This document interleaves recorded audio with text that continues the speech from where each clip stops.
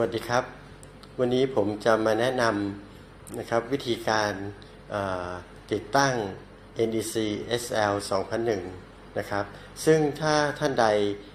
ที่เป็นตัวแทนของเรานะครับ เราจะจัดเป็นชุดให้สำเร็จนะครับ โดย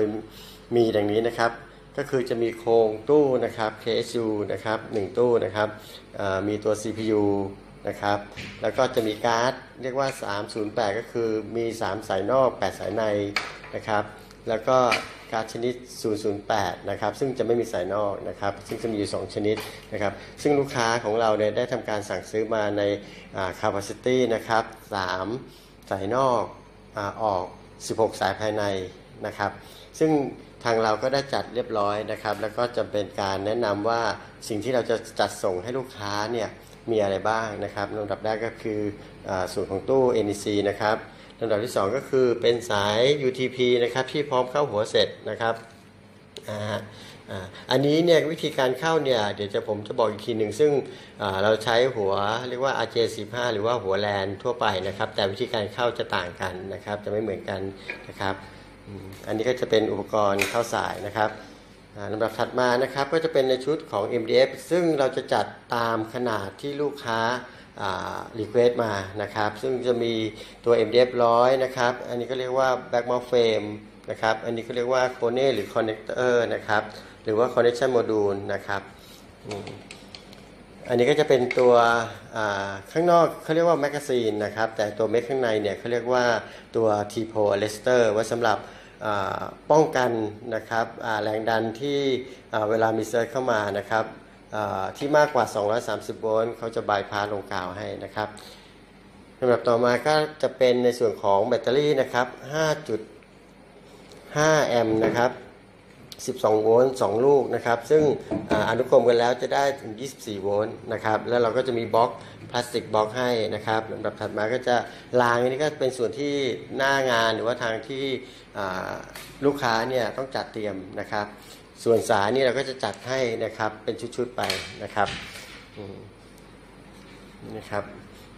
เป็นอุปกรณ์ 1 เซตนะครับไว้สำหรับติดตั้งนะครับ เพียงท่านสั่งซื้อเรามาเนี่ยเราจะจัดให้ครบเซต นะครับ โดยที่ท่านไม่ไม่ต้องไปหาอุปกรณ์อื่นใดเลยนะครับ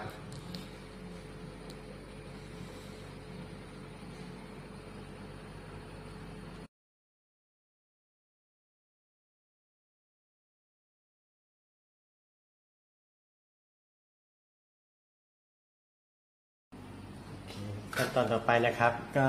ทำการใส่ก๊าซ CPU นะครับเข้าไปนะครับ เป็นช่องสไลด์เข้าไปนะครับ สามสายนอกแปดสายภายในนะครับ ตามมาให้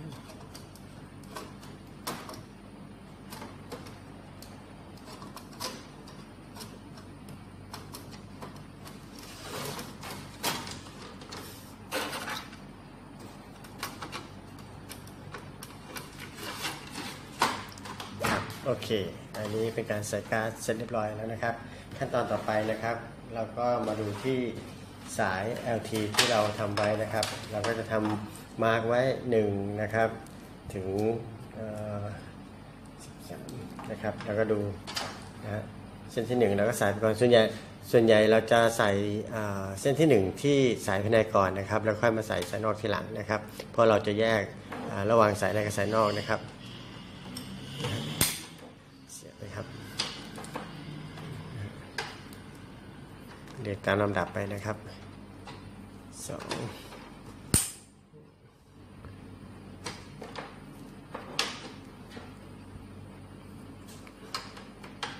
สามเดี๋ยวนะสิบโอเค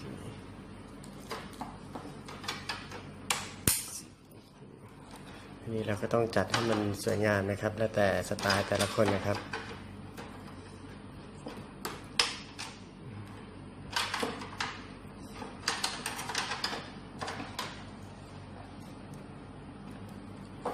โอเค เดี๋ ยกตัวอย่างแค่สี่หัวก่อนนะครับอันนี้จะจัดไป ต่อมาเราก็มาดูที่ปลายสายนะครับนะครับ ดูที่ปลายสายอ๋อนิดนึงครับความแตกต่างที่ผมบอกว่ามันไม่เหมือนกันกับสายแลนตรงที่ว่านะครับ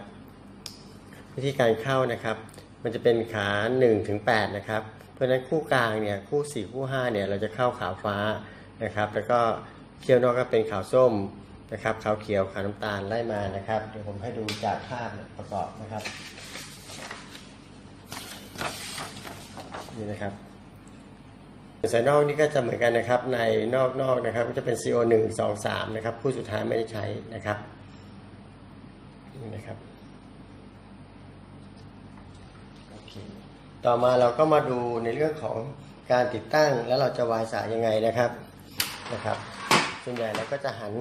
นะครับ สายมาที่ทางด้านรางนะครับรางไวเวนะครับนะโอเคแล้วก็จะมีรางไวเวย์ทั้งนี่ครับใส่ประมาณนี้นะครับนะครับแล้วก็จะจะมีการน็อกรูนะครับ อันนี้น็อกรูข้างนะครับ เราควรจะห่างไว้นะครับ เพื่อที่ให้ถอดการ์ดได้นะครับ ประมาณสัก 15 ถึง 20 เซนนะครับ ต่อมาเราก็จะติดตั้ง MDF นะครับนะผมขอขยับนิดนึงนะครับ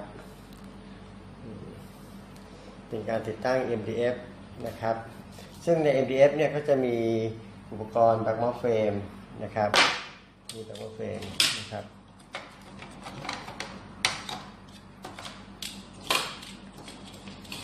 วิธีการติดตั้งก็คือเราจะเอาเอ่อตัว back frame ยึดกับกล่องเหล็กอย่างนี้เป็นต้นนะครับนะฮะ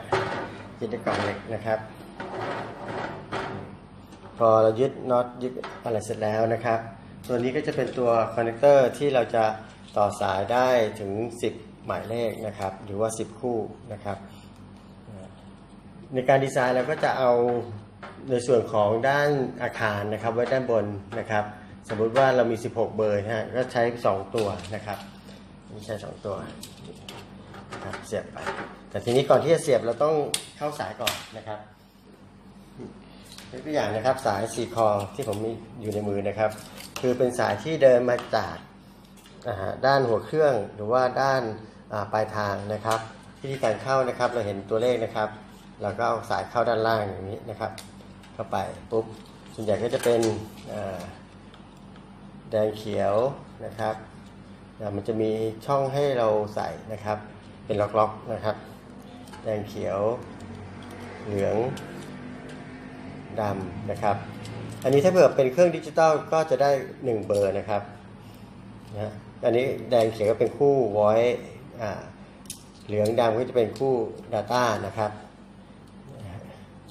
ใส่เข้า ไปนะครับนี่ยกตัวอย่างนะครับ เราก็แทกเข้าไปนะครับ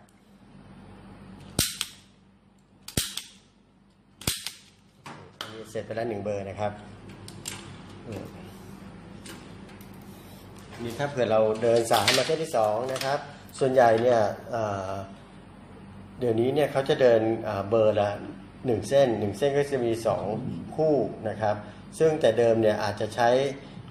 แดงเขียวหนึ่งเบอร์นะครับเหลืองดำหนึ่งเบอร์ก็แล้วแต่การเดินสายนะครับ ถ้าเผื่อเราใช้แดงเขียวเหลืองดำเป็นสองเบอร์แล้วก็เข้าหมดเลยทั้งสี่เส้นนะครับ หรือบางท่านก็อาจจะอ่าขมวดไว้นะครับ ก็คือไม่ต้องเข้ามันจะได้ไม่เปลือง คือไม่เปลืองอ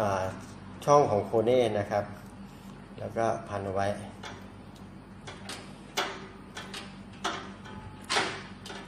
เพื่อ ความสวยงามนะครับ มันจะได้เป็นเส้นของไข่ของมันนะครับแบบนี้นะครับ ต่อจากนั้นเราก็มาเข้าเหมือนเดิมนะครับ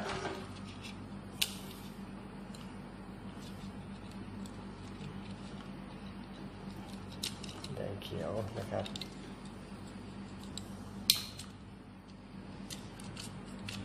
โอเค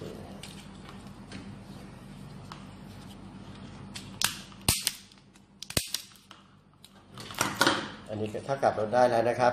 ถ้าเผื่อเป็นดิจิตอลก็จะได้ 1 เบอร์1กับ 2 เป็นดิจิตอลนะครับ3ก็คือเป็นอนาล็อกนะครับ เมื่อเราเดินสายเสร็จเรียบร้อยนี่คือการเข้าแล้วก็จะเข้า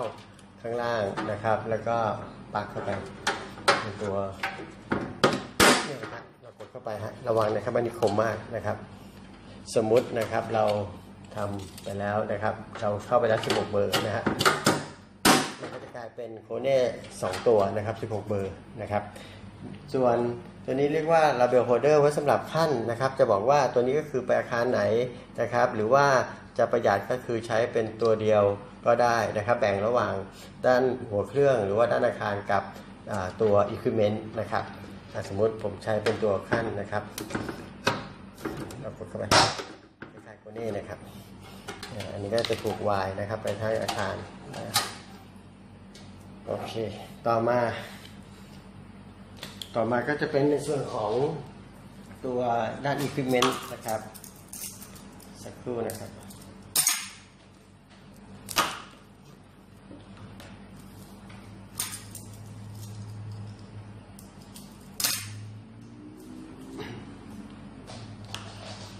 ในส่วนของด้าน equipment เนี่ยก็จะเป็นสาย UTP แล้วก็ปอกตาม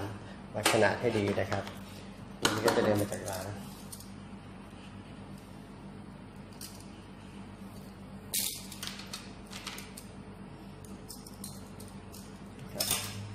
ราะฉะนั้นอะไรเอ่ยเพราะฉะนั้นเนี่ยข่าวฟ้าก็จะเป็นของ voice เบอร์แรกนะครับ ข่าวส้มก็จะเป็น voice ของเบอร์ที่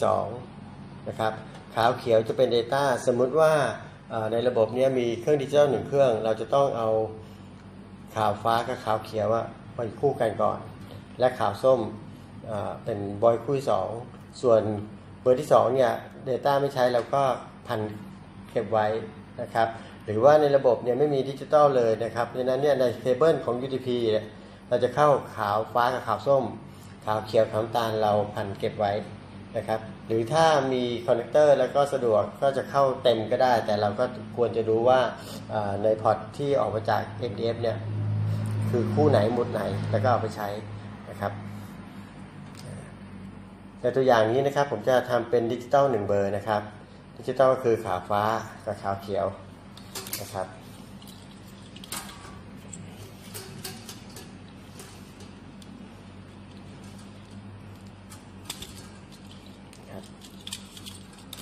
แล้วก็เกี่ยวเข้ามานะครับ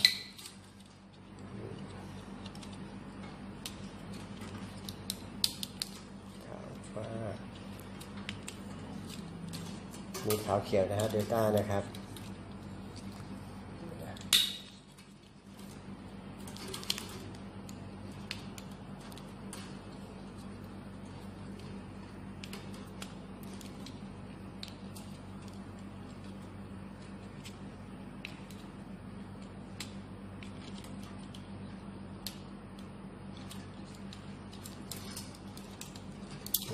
ได้แล้วครับหนึ่งเบอร์ ส่วนเบอร์ที่สองก็จะเป็นขาวส้มนะครับ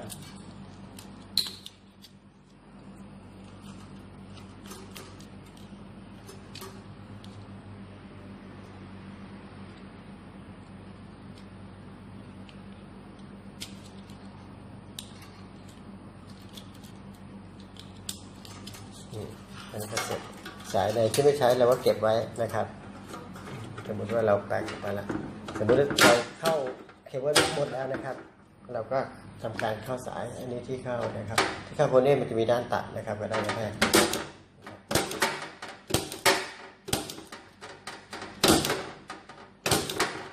เคนี่เราก็ดึงออก เพราะฉะนั้นเราก็จะได้เป็นด้านปลายทางนะครับ ด้านหัวเครื่องกับด้านอินคิวเมนต์จริงๆแล้วอินคิวเมนต์ก็จะมีอยู่สองอ สองตัวนะครับก็คือ 16พอร์ตพอดีนะครับนะฮะก็คือสมมติแล้วผมเข้าไว้หมดแล้วนะฮะสมมตินะฮะอันนี้จะลองสถานการณ์นะครับ ส่วนสายนอกเนี่ยเรามาเข้าคู่สุดท้ายก็ได้ที่เหลือเพราะว่าใช้ที่16 คู่ใช่ไหมครับสายนอกเราก็อ่าหมดที่ 8 90 นะครับถ้าเผื่อจะดูจากแบบ NDF ที่เราทำไว้นะครับ ก็จะเป็นตามนี้ ด้านล่างก็จะเป็นด้าน Equipment เห็นไหมครับ จะเป็นเบอร์ 300 อันนี้ก็เป็น Data นะครับ 301 302จนถึง 315 อันนี้จบ ส่วนสายนอกเส้นหนึ่งเราก็เข้า 3 เบอร์ตรงนี้ไปนะครับ เราจะเห็นได้ว่ามันจะมีด้าน House กับด้าน Equipment นะครับ ด้าน House คือปลายทาง ด้าน House จะเป็นสายสีคอมาหรือว่าจะเป็นเคเบิลมาก็แล้วแต่นะครับ ทั้งนี้ทั้งนั้นเนี่ยเเวลาเราจะคอสสายนะครับเขาเรียกสายจัมเปอร์วายนะครับ ส่วนใหญ่จะเป็นสายแบบนี้นะครับ เดี๋ยวผมให้ดู นี่ครับ สาย jumper wire จะเป็นขาวแดงนะฮะยกตัวอย่างนะครับ ผมจะจ่ายสัญญาณจากตัวดิจิตอลนะครับผมมาเข้าตัวคู่วอยก่อนด้านล่างนะครับอันนี้ด้านตู้นะครับ ผม cross ไปหาด้านปลายทางก็คือหัวเครื่องอันนี้คู่หนึ่งนะครับ เห็นไหมครับนะฮะนี่ หรือว่าท่านอาจจะใช้เศษสาย UTP เศษสายโทรศัพท์ก็ได้ครับ ถ้าเกิดไม่ได้จัมเปอร์ไวนะครับอันนี้ได้ละหนึ่งเลยยังเหลืออีกคู่เดต้านะครับเดต้าคู่หนึ่งนะครับเนี่ยเรามีตัวเกี่ยวนะครับตัวเกี่ยว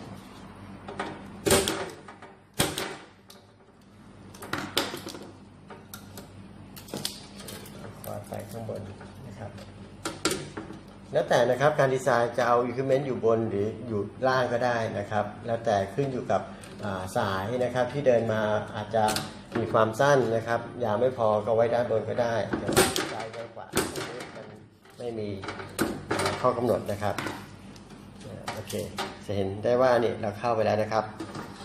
ดิจิตอลนะครับ v o i c คือ voice data คือ data จะเป็นเบอร์ 300ถัดจากนั้นเราก็จะคอส301 ไปหา 301 นะครับนะฮะ302ไปหา302ถ้าเผื่อไม่เรียงกันแล้วก็เอาตัว equipment เป็นหลัก301อาจจะไปอยู่ที่นี่ก็ได้ แล้วแต่การเดินสายมานะครับ แต่ทางที่ดีเดินให้เป็นระเบียบเรียบร้อยนะครับ ส่วนอุปกรณ์หนึ่งก็คือจะเป็นตัว arrestor arrestor ถ้าเผื่อสายนอกอยู่หมุดไหนให้เราใส่ที่นะครับแถวนั้นนะครับ เพราะฉะนั้นเนี่ยในเมื่อเรามีเอ e เตอร์นะครับ ส่วนของอตัว MDF เนี่ยก็จะมีตัว terminal ที่จะให้ขันนะครับ ground นะครับ ตรงนี้นะครับนะฮะ ground แล้วก็ต่อกราวไปนะครับไปยังกราวดิน แล้วก็จาก MDF เนี่ยก็ไปเข้ากราวกราวที่ตัวตู้นี่สำคัญ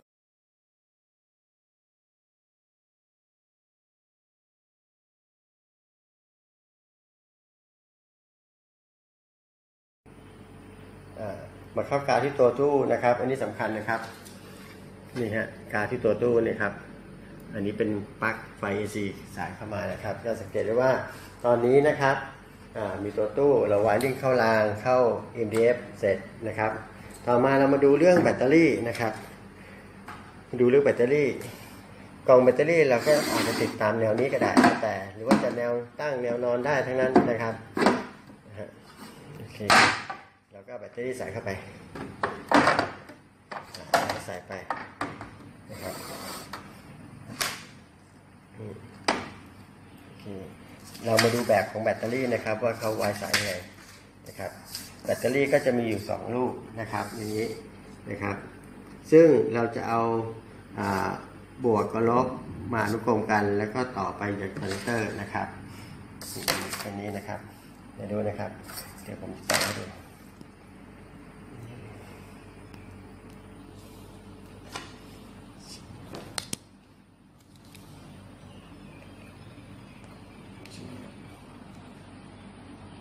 ตัว ยึดไม่ค่อยแน่นหนาครับ โอเค วิธีการต่อแบตเตอรี่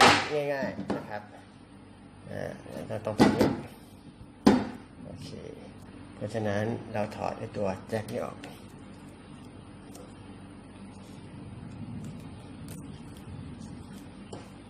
โอเคเราอนุกรมกันก่อนนะครับหนึ่งคู่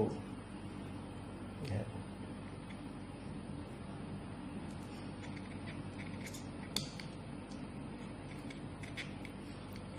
แน่นโอเค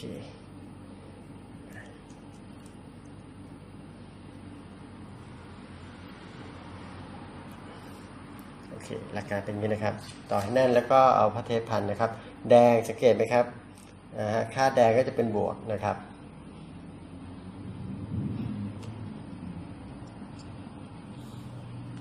โอเคเดี๋ยวอาจจะต้องใช้ครีมหน่อยอันนี้ครับเน้นมากโอเค ก็จะเป็นแบบนี้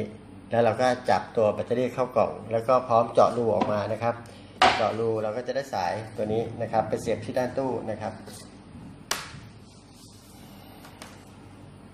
สายตัวนี้ แล้วก็มาเสียบที่ตู้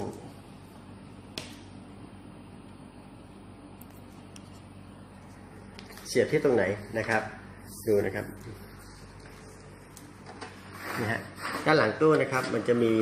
ตรงนี้จุดกาวนะครับ มีไฟ AC กาวแล้วก็ตัวตัวแบตเตอรี่นะครับ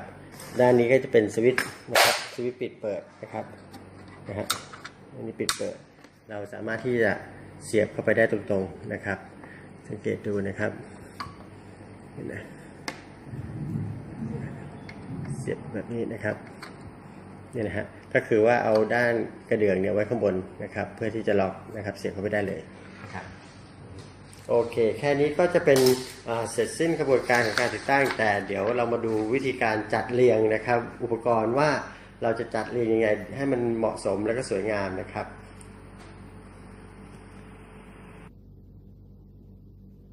โอเค ก็จะออกมารูปร่างประมาณนี้นะครับ อันนี้ก็จะน็อกรูเข้ารางอาจจะเป็นรางไซส์ที่ให้เหมาะสมนะจะเป็นพลาสติกหรืออะไรก็ได้นะครับ ส่วนแบตเตอรี่อยู่ด้านล่างนะครับ NBS อยู่ด้านบนนะครับ อันนี้ไม่มีข้อกำหนดหรือจำกัดนะครับ จะไว้ล่างไว้บนซ้ายขวาก็ได้ครับนะครับเพียงแต่ว่าเราดูระยะของการ์ดนะครับเวลาเราถอดมันเทนแนนจะได้ถอดง่ายนะครับ ไม่ใช่ว่าเราต้องรื้อทั้งตู้นะครับ ส่วนตัวตู้เนี่ยก็จะมีตัวเพจนะครับกระดาษนะครับแปะผนังเพื่อที่จะมาร์กจุดนะครับในการติดตั้งนะครับ ก็สะดวกแล้วก็ง่ายแล้วก็รวดเร็วในการติดตั้งนะครับ ถ้าท่านใดสนใจนะครับ ติดต่อเรามาได้นะครับบริษัท Isaac Engineering นะครับ 02-454-9233 นะครับ วันนี้ผมขออธิบายในเรื่องของการติดตั้งไว้แต่เพียงเท่านี้นะครับในคราวหน้า เรามาคุยในเรื่องต่อไปนะครับ ขอบคุณครับ